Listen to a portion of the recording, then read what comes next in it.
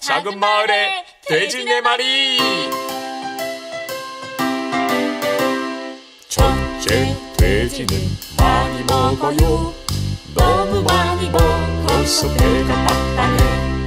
음하하 전부 내 거야.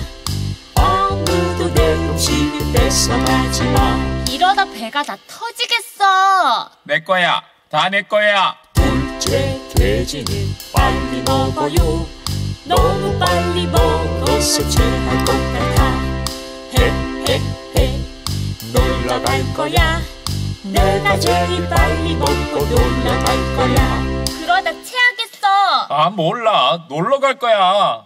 셋째 돼지는 편식을 해요. 너무 편식해서 몸이 안 좋아. 채소는 싫어. 내가 먹고 싶은 것만 입에 넣을래. 그러면 건강이 나빠져. 아, 싫어. 싫다고. 넷째 돼지는 골고루 먹어. 몸도 튼튼 피부도 반짝 예쁜 돼지야. 냠냠 나는 될 거야. 꼭꼭 씹고 골고루 먹어 건강해질 거야. 첫째는 배가 터질 것 같아. 둘째는 급해서 체할 것 같아. 셋째는 건강이 나빠질 거야. 넷째처럼 식사를 잘 먹어야 예쁘고 건강한 돼지 될 거야.